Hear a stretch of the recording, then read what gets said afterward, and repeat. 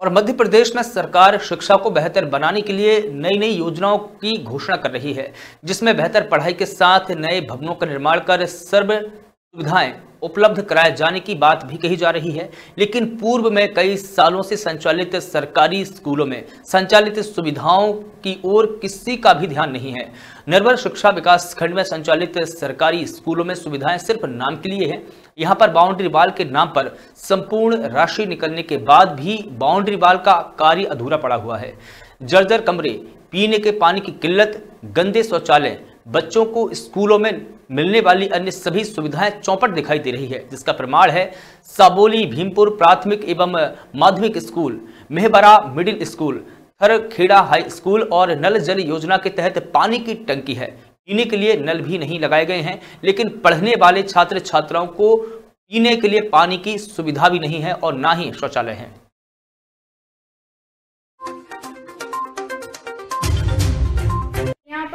पानी नहीं है। मतलब पानी पीने के लिए? हाँ पीने के लिए नहीं है।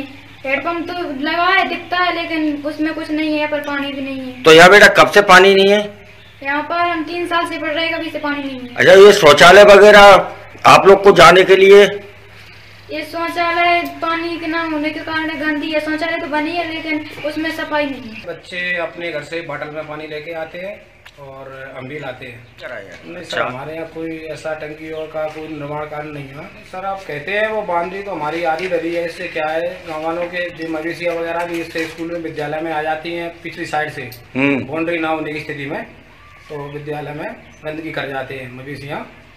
और जो हमारे स्कूल के जो बाहर बरंडा बैठाने की स्थिति यही है कि हमारे जो दो रूम है वे क्षतिग्रस्त पड़ा जाता है क्योंकि अंदर वो बना रहता है ऊपर से वो टपकती है सीमेंट कंक्रीट। हम्म। तो कभी बच्चों पर गिर सकती है इस कारण से हम बच्चों को एक साथ बाहरी बरामदा में बैठा लेते पानी की व्यवस्था के लिए अधिकतर जगह नल जल योजना स्वीकृत की गई है। किसी कारणवश वो व्यवस्था काम नहीं कर पाई है तो हम इंजीनियर के माध्यम से परीक्षण कराएँगे और शीघ्र ही इसका प्रस्ताव वरिष्ठ कार्यालय को भेजा जाएगा ताकि ये जो पानी की व्यवस्था में कमी है, वो दुरुस्त कराई जा सके। और इस खबर पर अधिक जानकारी के लिए हमारे सहयोगी कमर खान हमारे साथ में जुड़ गए हैं। कमर, जिस प्रकार से हमने स्कूलों की बदहाली देखी, पानी की टंकी देखी, शौचालयों का हमने हाल देखा, सरकार की फ़ाइल से योजना निकली, बजट निकला, लेकिन वो जो स्कूल है, सरकारी स्कूल है, उनकी बेहतरी के लिए वो काम नहीं आ पाया है। आखिर वो बजट किसकी जेब में चला गया? कमर। मनीष जैसा कि मैं बता दूँ ये पूरे जो सरकारी स्कूल है ये पूरे नरवर शिक्षा विकास खंड क्षेत्र के अधिकतर ग्रामीण क्षेत्र के स्कूल है।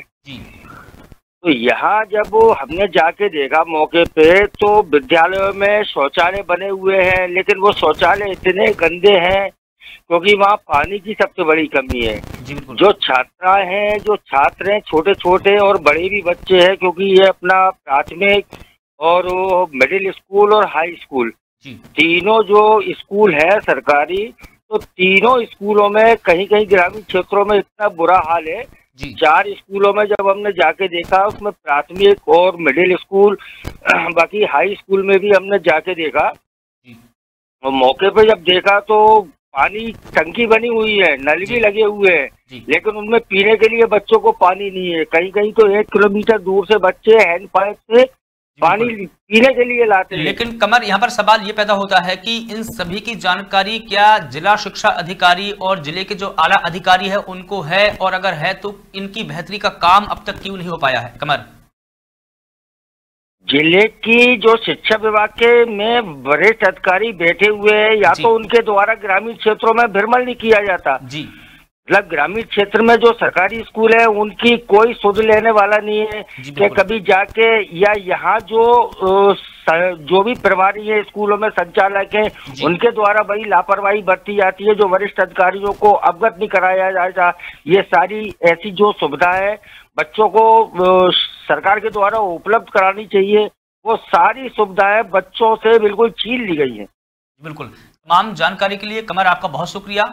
ये तस्वीरें हमने आपको दिखाई एम के न्यूज़ के माध्यम से। ये मध्य प्रदेश के निर्भर ये सरकारी स्कूलों की तस्वीर है, जहाँ पर आप तस्वीरों के माध्यम से देख सकते हैं किस प्रकार से स्कूल तो बना है, लेकिन ना ही वहाँ पर पानी की व्यवस्था है और ना ही शौचालयों की व्यवस्था है।